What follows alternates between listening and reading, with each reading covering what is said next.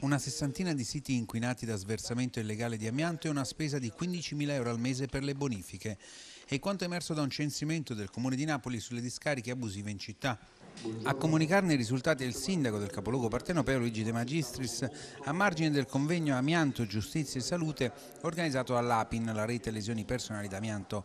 Proprio un'esperienza personale del sindaco viene portata ad esempio. Scoprimmo grazie a una denuncia di alcuni medici coraggiosi che aumentavano i tumori dei bambini in età scolare intorno ai 10 anni in una città del sud della Calabria e approfondendo scoprimmo che l'andrangheta, una cosca dell'andrangheta colludendo con imprenditori collusi e con politici corrotti smaltiva illecitamente l'amianto nelle scuole.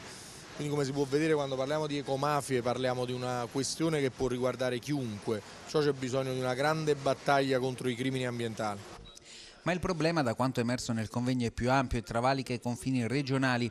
In Campania, così come su tutto il territorio nazionale, non esistono discariche per il conferimento di questo materiale altamente cancerogeno. Così l'amianto deve essere trasportato all'estero con ingenti costi difficilmente sostenibili, soprattutto dai singoli privati cittadini.